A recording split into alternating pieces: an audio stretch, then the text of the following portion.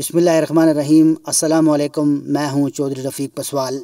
یہ ہے کشمیر کی خوبصورت وادی، دلکش نظاروں کا جادو اور دلوں کو چھو لینے والا سکون۔ لیکن اس حسین و جمیل وادی کے کروائی دارالحکومت سری نگر کے بیچوں بیچ بیتی ہوئی ڈل جھیل کے کنارے ایک ایسا مقام بھی ہے جو صرف اپنی خوبصورتی سے ہی نہیں، بلکہ اپنی روحانی عظمت سے بھی لوگوں کو اپنی طرف متوجہ کرتا ہے۔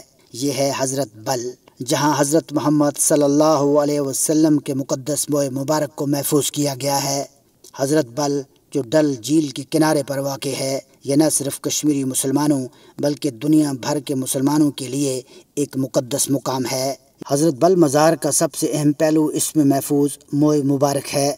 یہ مقدس بال رسول اللہ صلی اللہ علیہ وسلم کا ہے اور اس کی تاریخ کا آغاز اسلامی تاریخ کے ابتدائی دور سے ہوتا ہے۔ روایات کے مطابق یہ مقدس بال رسول اللہ صلی اللہ علیہ وسلم کی وفات کے بعد آپ صلی اللہ علیہ وسلم کے اہل خانہ کے پاس محفوظ تھا۔ بعد ازاں یہ تبرک مختلف اسلامی سلطنتوں کے حکمرانوں کے پاس رہا جو اسے انتہائی احترام کے ساتھ رکھتے تھے۔ مغل دور میں اس مقدس تبرک کو کشمیر منتقل کیا گیا۔ اس عمل کے پیچھے ایک دلچسپ کہانی ہے۔ روایت ہے کہ جب اس تبرک کو کشمیر لایا گیا تو اس وقت کشمیر کے گورنر نے اس کی حفاظت کے لیے ایک موزوں جگہ کی تلاش کی۔ آخر کار ڈل جھیل کے کنارے اس مقام کا انتخاب کیا گیا، جہاں حضرت بل مزار تعمیر کیا گیا۔ مغل حکمرانوں نے اس مزار کی تعمیر اور اس کے تحفظ کے لیے خصوصی انتظامات کیے۔ شاہ جہاں اور اورنگزیب عالمگیر نے اس مقدس تبرک کو کشمیر منتقل کرنے کا حکم دیا تھا اور اس کی حفاظت کے لیے یہاں حضرت بل مزار کی تعمیر کی نگرانی کی۔ کہا جاتا ہے کہ اورنگزیب نے اس مزار کی تعمیر کے لیے خود مالی معاونت فراہم کی اور اس بات کو یقینی بنایا کہ یہ مقام ہر لحاظ سے محفوظ رہے۔ حضرت بل مزار کی اصل عمارت لکڑی سے بنی تھی اور اس کا ڈھانچہ سادہ تھا۔ یہ عمارت سعید بل کے مقام سے معروف تھی اور اس کی تعمیر میں مقامی کاریگروں نے بھی حصہ لیا۔ بعد میں جب بوئے مبارک یہاں پہنچایا گیا تو اس مزار کی اہمیت مزید بڑھ گئی۔ سکھ دور میں حضرت بل مزار کی تعمیر میں نمایاں تبدیلیاں کی گئیں۔ سکھ حکمرانوں نے اس مزار کی توسیع اور اس کی مرمت کے لیے اہم اقدامات کیے۔ کہا جاتا ہے کہ اس دور میں مزار کی عمارت کو مضبوط بنانے کے لیے پتھر اور دیگر مستحکم مواد کا استعمال کیا گیا۔ ڈوگرا حکمرانوں کے دور میں بھی حضرت بل مزار کی اہمیت برقرار رہی۔ انہوں نے اس مزار کی دیکھ بھال اور اس کی تعمیر و مرمت کے کام کو جاری رکھا۔ ان کے دور میں مزار کی موجودہ عمارت کی تعمیر ہوئی، جس میں سفید سنگ مرمر کا استعمال کیا گیا۔ بیسویں صدی میں حضرت بل مزار کی عمارت میں مزید بہتریاں کی گئیں۔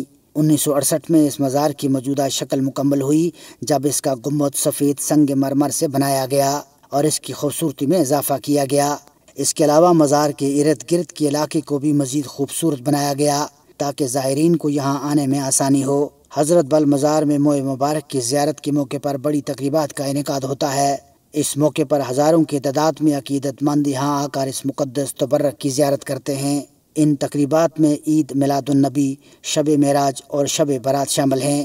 حضرت بل مزار کو نہ صرف کشمیر بلکہ پوری اسلامی دنیا میں ایک روحانی مرکز کے طور پر تسلیم کیا جاتا ہے۔ یہاں آنے والے عقیدت مند اس مقام کی روحانی فضیلت کو محسوس کرتے ہیں اور اپنی دعاؤں کی قبولیت کے لیے اس مزار کا رخ کرتے ہیں۔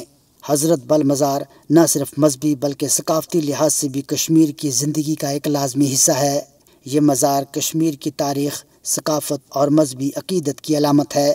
کشمیر کے لوگ اس مزار کو انتہائی احترام کی نگاہ سے دیکھتے ہیں اور اس کی حفاظت کو اپنی ذمہ داری سمجھتے ہیں۔ یہ حقائق حضرت بل کی تاریخی اہمیت اور اس کی روحانی عظمت کو مزید اجاگر کرتے ہیں۔ اس مزار کی تاریخ ایک لمبی داستان ہے جو ہمیں ایمان، عقیدت اور روحانی فضیلت کی یاد دلاتی ہے۔ اگر آپ کو ہماری یہ ویڈیو پسند آئی ہو تو کمنٹس میں اپنے خیالات کا اظہار ضرور کریں۔ اور ہمارے یوٹیوب چینل کو سبسکرائب کرنا نہ بھولیں اور اس کے ساتھ ساتھ بیل آئیکن کو ضرور دبائیں تاکہ جب بھی ہماری کوئی نئی ویڈیو آئے تو اس کا نوٹیفیکیشن آپ کو مل سکے۔ اگلی ویڈیو تک اللہ حافظ۔